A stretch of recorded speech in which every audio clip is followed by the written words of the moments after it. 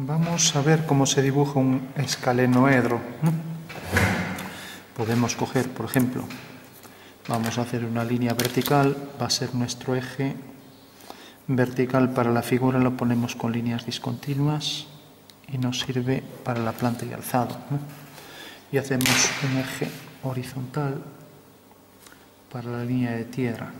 Entonces, estamos en sistema diédrico, colocamos línea de tierra y ahora podemos coger la circunferencia y dividir la figura aquí. Vamos a hacer una horizontal para colocar ahí la circunferencia.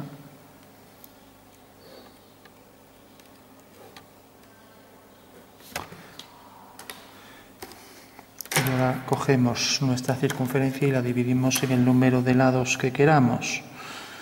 Vamos a hacer, por ejemplo, que tenga tenemos que centrar bien aquí en los ejes y vamos a ver, por ejemplo, que tenga 8 o aprovechando esto mismo, 12 lados.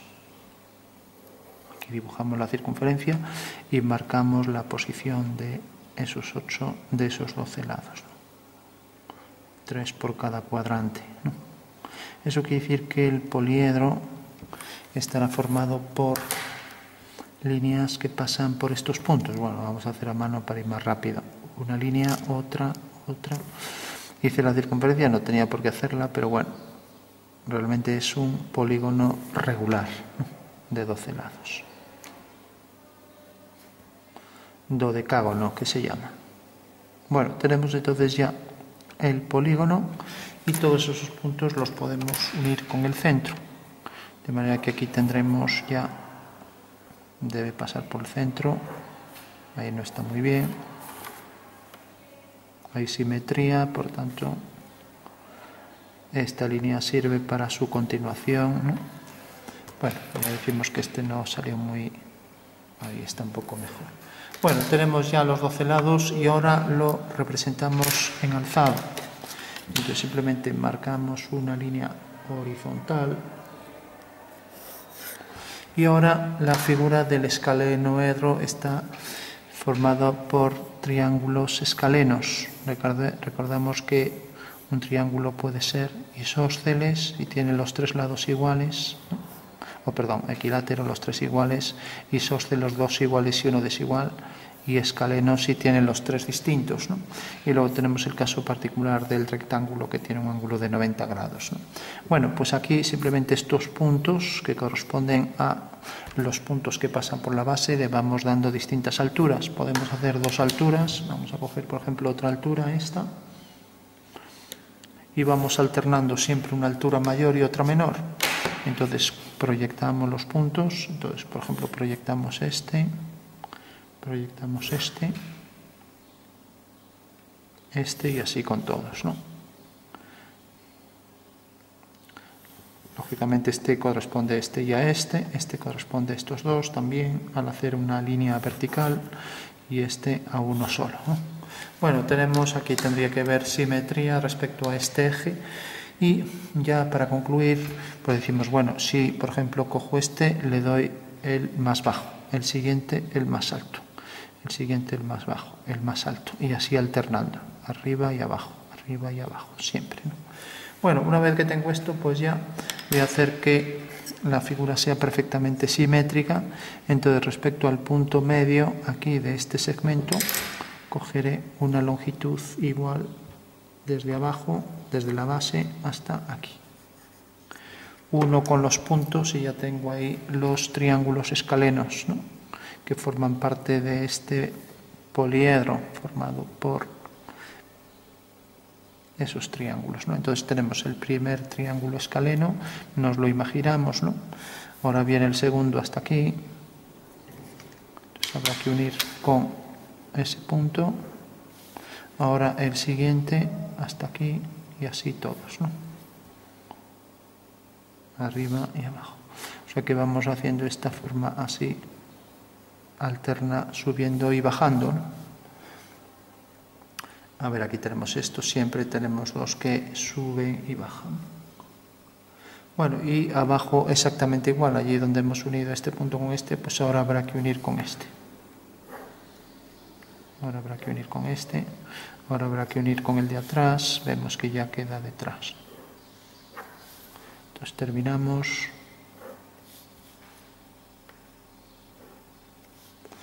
Bueno, alguien dirá, ¿se parece al antiprisma? No, porque el antiprisma realmente está formado por deltoides. O sea que tenemos un deltoide, otro deltoide, otro deltoide. Mientras que aquí, ojo con esto, que esto es complicado porque los deltoides, aquí hay asimetría, los deltoides son tales por eso es más difícil que salga que estos cuatro puntos deben ser coplanares, o sea, deben pertenecer a un mismo plano, cosa que no puedo coger como aquí los puntos aleatorios. Aquí si cojo los puntos aleatorios no tengo problema, porque en realidad siempre tres puntos definen un plano. Por lo tanto ya sé que todos estos triángulos realmente definen planos. ¿no? Entonces tengo aquí este, tengo aquí este, tengo este otro, tengo este, tengo este. Yo decía este, lo unimos con este, este con este, este con el siguiente y así con todos. Bueno, ya para concluir, mm, vamos entonces a hacer la parte interna. Si aquí hemos cogido el de arriba, ahora el siguiente es el de abajo, el de arriba, o sea que por detrás hay simetría, ¿no? O sea que al haber simetría respecto a este plano meridiano, realmente las líneas discontinuas son iguales, coincidentes con las de adelante, ¿no? Tenemos aquí un triángulo, aquí otro, etcétera. Bueno, pues esa sería la forma de construir el escalenoedro, figura formada por estos triángulos escalenos. Si nos fijamos siempre esto, pues debemos hacer esta forma alterna que sube y baja, cosa que pasa también en el antiprisma. En realidad esto es un deltoedro, pero cuando hablamos de antiprisma, estamos cogiendo aquí este polígono y este otro. Entonces quitamos las dos pirámides y nos queda la forma de antiprisma, que son en realidad dos polígonos que se han girado, en este caso son cuadrados, de manera que este punto ahora pasa aquí, este punto ahora pasa aquí, y entonces al unirlos, pues ahí me van saliendo triángulos por los laterales, ¿no? Allí detrás otro, etcétera. Bueno, pues ese es el antiprisma, ¿no? lo que queda aquí centrado. Mientras que esta forma interna de aquí, pues ya no sería un antiprisma, sería una figura formada a partir del truncamiento del escalenoedro al pasar planos que pasan por estos puntos. Bueno, se puede darle la peculiaridad de que, si nos fijamos aquí, vamos a sombrearlo para que se vea mejor, tendría este punto está abajo. Estos dos están arriba, pero al unir este de abajo con este, sobre todo se nota más cuando tiene más diferencia en la distancia entre esto y esto, ¿no? Pues cuanto más diferencia haya, pues provoca ese efecto así de concavidad, ¿no? Entonces pongo ahí el oscuro para la concavidad, pongo aquí también este plano que quedaría todavía más oscuro. Entonces tenemos esta forma, ya tiene un poco de luz, como esto tiene oscuridad, vamos a poner también aquí algo de oscuridad y aquí también algo de oscuridad. O sea que ya tendríamos este saliente, luego este, marcamos aquí el saliente, aquí un poco de oscuridad y esto proyecta aquí un poco de sombra en este hueco. Y esto ya quedaría también ahí con un poco de sombra para el hueco.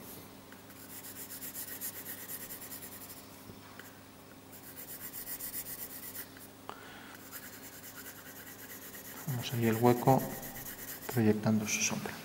Bueno, pues este realmente es un escalenoedro que, como decía, mm, puede quedar con huecos bastante definidos, sobre todo dependiendo de que estas distancias mm, verticalmente sean grandes. Si en vez de hacer esto hubiera cogido distancias más pequeñas, así, según nos vamos acercando hacia el contorno, pues más pequeño,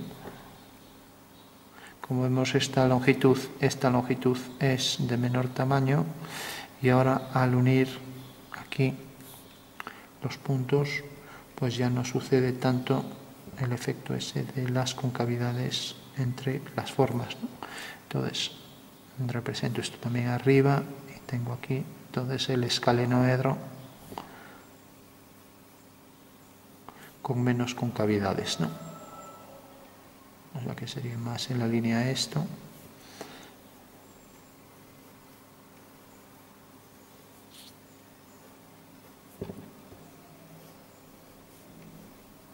Bueno, pues ahí tenemos otro ejemplo donde realmente ahí sí que se ve más circularidad, más, más efecto de que se aproxima más al cono, ¿no?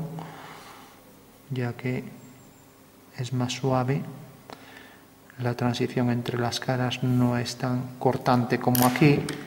Aquí pues se percibe mucho el efecto este de los huecos por la diferencia grande entre estos puntos. ¿no? porque esto es el estar aquí esté más abajo, pues esto hace que provoque más ese efecto de entrada. ¿no?